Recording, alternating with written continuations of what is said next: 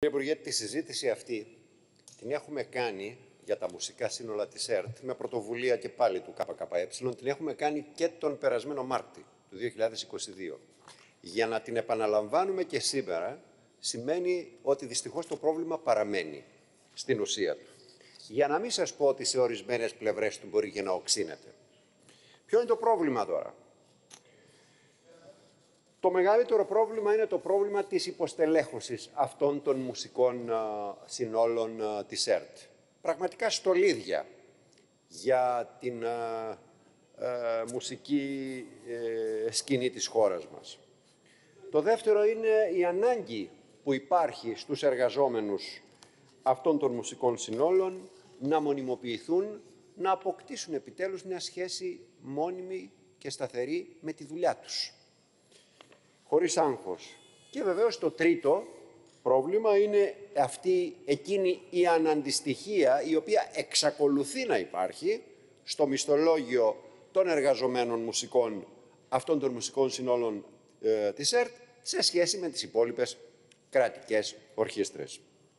Τώρα, σε αυτά τα προβλήματα που προϋπήρχαν έτσι κι αλλιώς και που δεν αντιμετωπίστηκαν, ίσως μάλιστα κάποια από αυτά να επιδεινώθηκαν το εννιάμινο που μεσολάβησε από την συζήτηση της προηγούμενης επίκαιρης ερώτησης του ΚΚΕ, έχει προσθεθεί και η πρόσφατη απόφαση της διοίκησης της ΕΡΤ, να, της οποίας βεβαίως η κυβέρνηση προείσταται, να μειώσει κατά 7 τις θέσεις των συμβασιούχων στην Εθνική Συμφωνική ε, Ορχήστρα. Καταλαβαίνετε ότι σε μια υποστελεχωμένη Εθνική Συμφωνική Ορχήστρα, εάν μειώσεις ακόμα περισσότερο το προσωπικό της, κατά 7 άτομα, ε, δημιουργεί σοβαρότατο πρόβλημα στην ίδια της τη λειτουργία και στην ικανότητά της εν τέλει να παρουσιάζει στοιχειώδη έργα είτε του εγχώριου είτε του διεθνούς ρεπερτορίου. Εν πάση περιπτώσει, αναμένοντας την απάντησή σας, το ερώτημα είναι το εξής. Τι θα κάνετε για να σταματήσετε την ε, υποβάθμιση των μουσικών συνόλων της ΕΡΤ, γιατί αυτό υπάρχει, υποβάθμιση και απαξίωση, μονιμοποιώντας άμεσα όλους τους συμβασιούχους, μα όλους, χωρίς καμιά ανάγκη επιπλέον ακρόασης, είναι γνωστοί επαγγελματίες μουσικοί με τεράστια προσφορά, να καλυφθούν όλες οι κενές βέβαια οργανικές θέσεις, όλων των μουσικών συνόλων και των τριών, με μόνιμο και σταθερό προσωπικό, μουσικό, και βεβαίως να εξισωθεί το μισθολόγιο των εργαζομένων στα μουσικά σύνολα της ΕΡΤ, έτσι ώστε να μην υπολείπεται με εκείνο των κρατικών ορχιστρών. Συμπληρώνω, καταθέτοντας και στα πρακτικά, ότι αυτό δεν το ζητάνε μόνο αυτοί οι εργαζόμενοι, δεν το ζητάει μόνο το ΚΚΕ, το ζητάνε και μια σειρά από φορείς, ε, μουσικοί φορείς της χώρας μας, αλλά και διεθνείς, όπως είναι η όπερα του Βερολίνου, η όπερα του Γκράτς, η όπερα της Ερφούρτης. Τα καταθέτω λοιπόν στα πρακτικά. Εν αναμονή της απάντησής σας. Κύριε συνάδελφοι, κυρίες και κύριοι, η, η προσφορά των μουσικών συνόλων της ΕΡΤ στον πολιτισμό, στην προαγωγή της μουσικής τέχνης είναι μεγάλη, χωρίς αμφιβολία, είναι διαχρονική και αναμφισβήτητη, ταυτισμένη και με εμβληματικές προσωπικότητες στη διάρκεια του χρόνου. Ο μεγάλο Μάνο Χατζηδάκης, ίσως η πιο εμβληματική και μεγαλύτερη από αυτές. Και αναντήρητα, το αποτέλεσμα αυτό, το έργο δηλαδή που επιτελούν, οφείλεται εν πολύ στους εξαιρετικούς, στους ταλαντούχους, στους πολύ καταρτισμένους μουσικούς των συνόλων της ΕΡΤ, που πολλές φορές μας έχουν κάνει περήφανους και στην Ελλάδα και στο εξωτερικό. Κάτω από αυτό το πρίσμα, λοιπόν, είναι απολύτως θεμητό το διαρκές δικό σας ενδιαφέρον και όχι μόνο το δικό σας και άλλων συναδέρφων και φορέων γύρω από τα μουσικά σύνολα ε, της ΕΡΤ.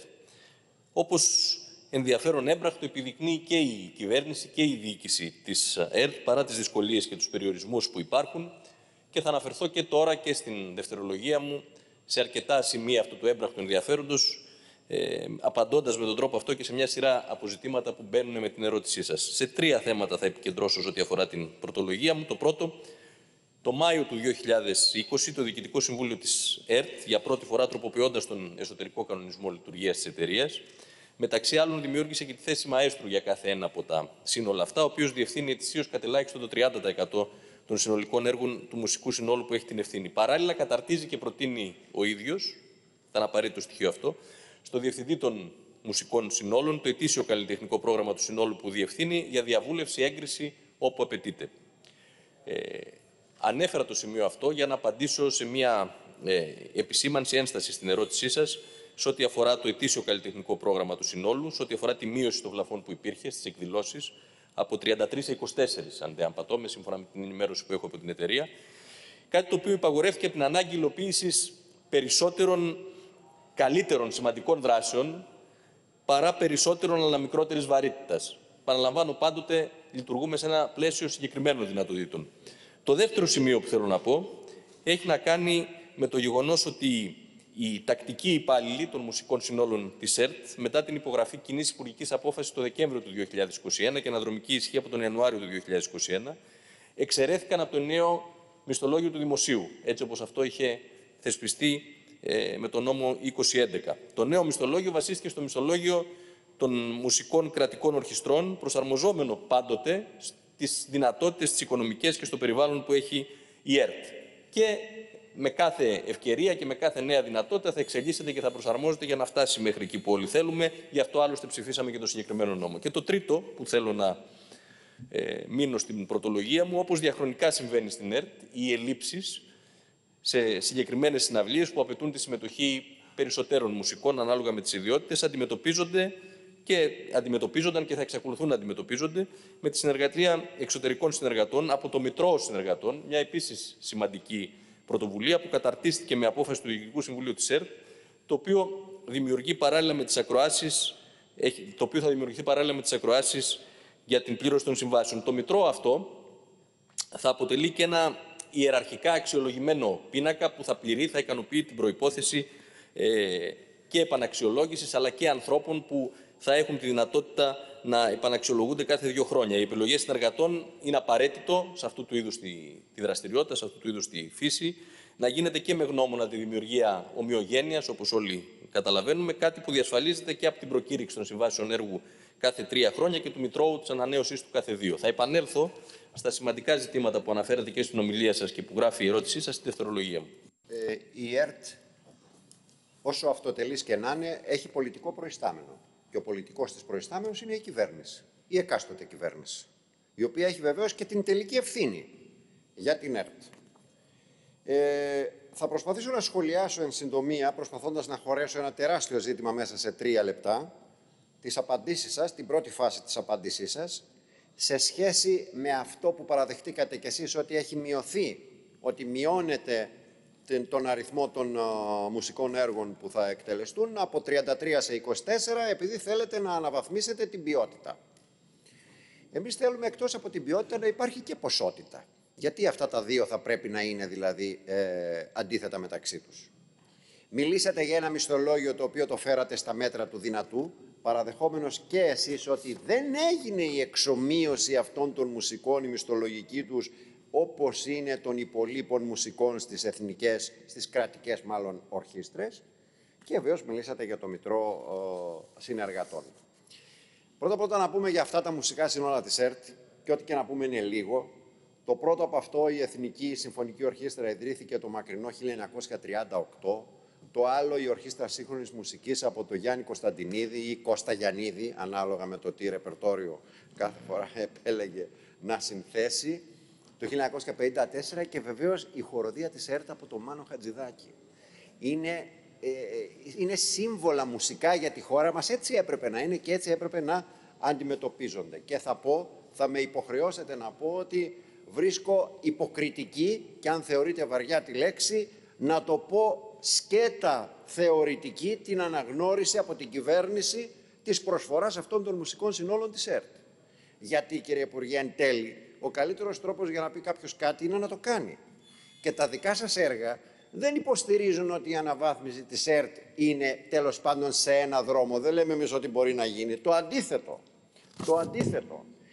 Εξακολουθούν να παραμένουν 117, να είναι 117 οι κενές οργανικές θέσεις σε αυτά τα μουσικά σύνολα. Περίπου στο μισό δηλαδή. Έχουμε 28 συμβάσεις έργου, οι εξωτερικοί συνεργάτες που λέτε, οι οποίοι ενώ είχαν συμβάσεις αορίστου χρόνου πριν μετατρέπονται τώρα με ε, οδηγούμενοι σε αυτό το μητρό συνεργατών μετατρέπονται σε συμβάσεις ορισμένου χρόνου και τελικά αυτή, αυτό το μητρό συνεργατών μετατρέπεται σε μια λίστα, σε μια ιδιότυπη λίστα φτηνότερων εργαζόμενων όποτε χρειάζονται, όποτε τους χρειάζονται αυτά τα μουσικά σύνολα για τα έργα τα οποία θα ε, εκτελέσουν. Όπως είπαμε για το μισθολόγιο δεν έχετε, το έχετε παραδεχτεί κι εσείς και το ζητάμε, αυτό πρέπει να γίνει άμεσα, να αντιστοιχηθεί με αυτό που έχουν οι μουσικοί και στις υπόλοιπες κρατικές ε, ορχήστρες και βεβαίως να ικανοποιηθεί το αίτημα, το δίκαιο αίτημα της πλήρωσης όλων των κενών οργανικών α, θέσεων. Και, εν πάση περιπτώσει, η ΕΡΤ, η Ελληνική Ραδιοφωνία Τηλεόραση, ως ένας ραδιοτηλεοπτικός φορέας που έχει και ευθύνη για την ε, πολιτιστική αναβάθμιση ε, του, του, του ελληνικού λαού, νομίζουμε ότι έχει την υποχρέωση και την ευθύνη απέναντι σε αυτούς που εν τέλει την χρηματοδοτούν να συμβάλλει και με τα μουσικά της σύνολα. Κλείνοντας, ε, θέλουμε να πούμε ότι για μας, για το ΚΚΕ, η μουσική, η μουσική παιδεία, η μουσική, εν πάση περιπτώσει, εν γέννη, δεν είναι μια πολυτέλεια.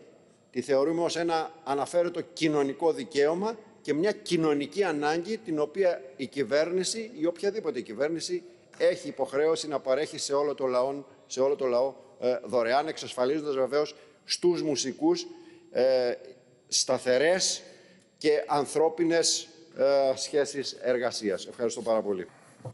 Για να έχουμε μία εικόνα, όχι εσείς είμαι σίγουρος ότι την έχετε, αλλά και οι πολίτες που μας ακούν, ε, θα προσπαθήσω λίγο να αναδείξω τα, τα πραγματικά χαρακτηριστικά έτσι όπως έγιναν με την αλλαγή του εσωτερικού κανονισμού που αποτελεί και τον, του οργανογράμματος, δηλαδή που αποτελεί και τον πυρήνα της, της ερωτήσεώς σας. Στον εσωτερικό κανονισμό λειτουργίας λοιπόν, που καταρτίστηκε τον Ιούλιο του 2019, προβλέφθηκε ένα ιδεατό, κατά την άποψη των ειδικών και δεν έχω αμφιβολία ότι έτσι θα ήταν, καινούριο οργανόγραμμα στο οποίο ε, προβλέθηκαν οι οργανικές θέσεις για την ιδεατή, επαναλαμβάνω, λειτουργία των μουσικών συνόλων και των τριών δομών.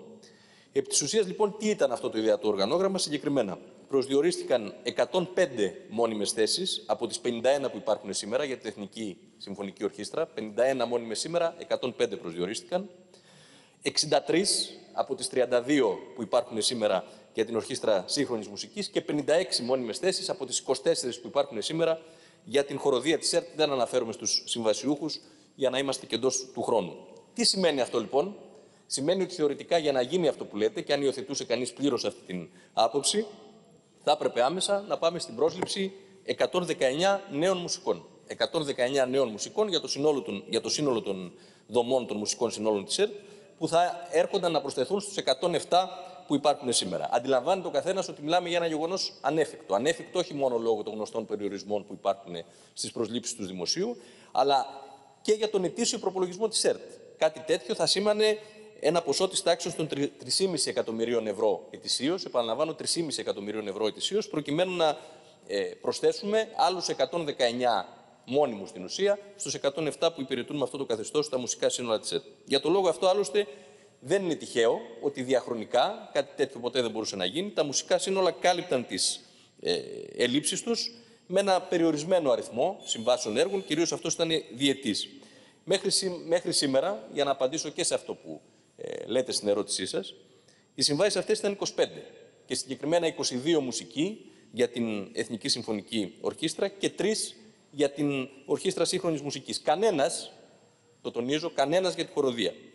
Καθώς 25 αυτές συμβάσεις λοιπόν λήγουν στις 31 Δωδεκάτου του τρέχοντος έτους, του 2022, ο προγραμματισμός της εταιρείας, οι εισηγήσεις, το έμπρακτο ενδιαφέρον όπως είπα και νωρίτερα, ε, έχει οδηγήσει στο να προκηρυχθούν καινούργιες θέσεις με αυτό το καθεστώς. Όχι μόνο λιγότερες, αλλά να αυξηθούν οι θέσεις αυτές. Συγκεκριμένα οι θέσεις αυτές θα είναι 28 και θα υπάρχει μια δικαιότερη κατανομή τους στα τρία μουσικά σύνολα πολύ περισσότερο στα δύο σύνολα που υπηρετούσαν λιγότεροι, είπαμε στην χοροδία κανείς, στο προηγούμενο διάστημα.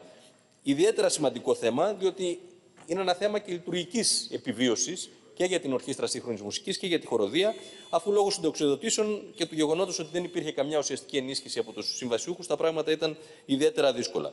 Έτσι, με την πρόσφατη απόφαση προκηρύχθηκαν 15 θέσεις συμβάσεις έργου για την Εθνική Συμβολική Ορχήστρα, 6 για την Ορχήστρα Σύγχρονης Μουσικής και 7 για τη χοροδία. Με τον τρόπο αυτό στην Εθνική Συμφωνική Ορχήστρα θα καλύπτεται πλέον το 63% του ιδεατού οργανογράμματος. Στην Ορχήστρα Σύγχρονης Μουσικής το 57% και στη χοροδία το 55%. Δεν ισχυριζόμαστε ότι είναι το τέλειο, δεν ισχυριζόμαστε ότι δεν θα θέλαμε και ως έμπρακτο σεβασμό στην ιστορία των μουσικών συνόλων, αλλά και στην ε, διάσταση της ποιότητας να γίνουν πολύ περισσότερα πράγματα. Είπα όμως από την αρχή ότι οι δυνατότητες δεν είναι απεριόριστες. Και ε, μια τελευταία καταληκτική παρατήρηση, που νομίζω ότι θα μας βρει όλους σύμφωνους και από ηθική και από κοινωνική διάσταση.